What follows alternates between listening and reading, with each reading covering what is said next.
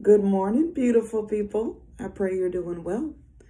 I want to talk to you about people around you and their real intentions. And one way that we know somebody's real intentions is to test the spirit. And the Bible tells us to do that. And I'm reading Matthew. And in Matthew, the authority of Jesus was challenged. And I just want to read this to you. When Jesus returned to the temple and began teaching, the leading priests and elders came up to him. They demanded, By what authority are you doing these things? Who gave you the right? I tell you by what authority I do these things, if you answer one question, Jesus replied. Did John's authority to baptize come from heaven, or was it merely human? So these priests talked this over. If we say it was from heaven, he will ask us why we didn't believe John. But if we say it was merely human, we'll be mobbed because the people believed John was a prophet.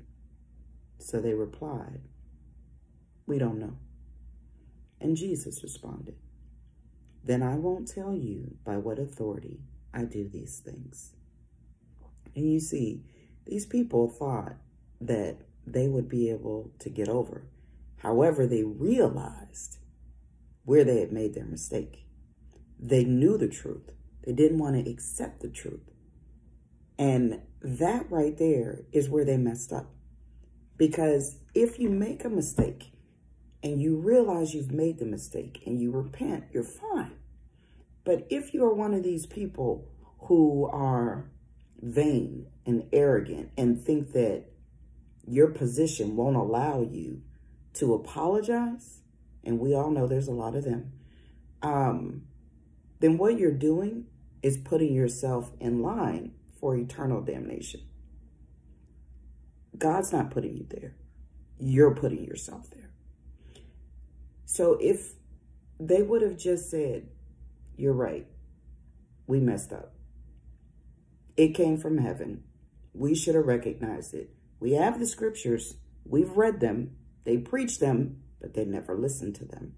They never let them into their heart. So they knew and they still did. That right there is the problem. And Jesus was testing their spirit. He already knew. He never asked a question that he doesn't know the answer to. Never.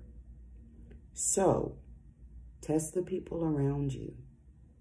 See who it is you're really dealing with. Watch them recognize truth and then deny it. And if you see that, get away from them people. They mean you no good whatsoever. And anytime they see you succeeding, they're going to try their best to take that away from you. Because if they can't have it, you can't have it. And you don't need to be around people like that. And I know I went, you know, around the corner to cross the street, but I still felt like that's what I should have said this morning. So you have a blessed day. Check your surroundings. Check the people who surround you and test them. Have a blessed day. Bye.